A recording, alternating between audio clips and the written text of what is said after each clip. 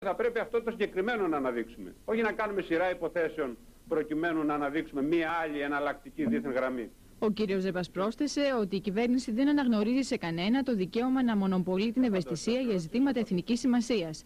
Και όταν ρωτήθηκε για το αν η επιστολή των 32 βουλευτών έχει ενοχλήσει τον Πρωθυπουργό, δήλωσε. Το μόνο που ενοχλεί τον Πρωθυπουργό είναι η ύπαρξη προβλημάτων. Θα την σχολιάσω αν χρειαστεί ε, στο, στην Ελλάδα όταν επιστρέψω. Σχολιάζοντας την κίνηση των βουλευτών του κυβερνώντος κόμματος, η Ελέκα Παπαρίγα έκανε λόγο για όψιμο προβληματισμό. Τώρα ανακάλυψαν αυτό το πρόβλημα. Αν δω προεκλογικά ακόμα, ήταν γνωστό αυτό το αμερικάνικο σχέδιο. Αν δεν δεις από πού εκπορεύεται το όλο πρόβλημα, τα πράγματα δεν λύνονται, γιατί το θέμα δεν είναι Ελλάδας-Τουρκίας, το ζήτημα είναι η νέα τάξη πραγμάτων στο Αιγαίο. Ο πρώην πρόεδρος της Νέας Δημοκρατίας, Μιλτιάδης Σέβερτ, κάλεσε τον Πρωθυπουργό να ενημερώσει το Κοινοβούλιο πριν ξεκινήσουν οι ελληνοτουρκικές επαφές. Και έχει υποχρέωση ο Πρωθυπουργός να ενημερώσει μέσα στη Βουλή των Ελλήνων και για τη Βουλής των Ελλήνων τον ελληνικό λαό. Διότι δεν μπορεί να υπάρχει μυστική διπλωματία.